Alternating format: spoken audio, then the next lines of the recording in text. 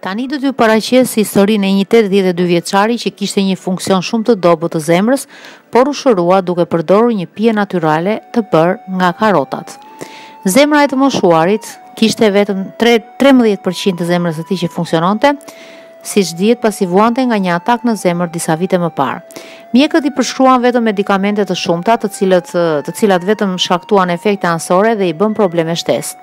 Me kalimin e kohës, ai zhvilloi dështimin e veshkave dhe mjekët kishin një prognozë shumë të keqe për shëndetin e tij. Ai u bë plotësisht i humbur, i zhgënjyer dhe i shkatërruar.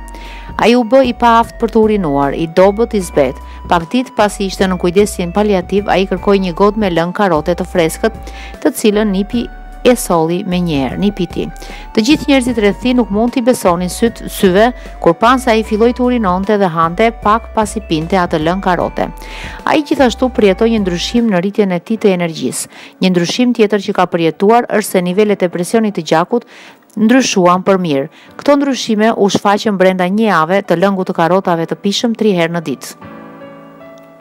Burri i moshuar doli nga spitali dhe aktualisht ndihet më mirë dhe më i shëndetshëm se kurrë më parë.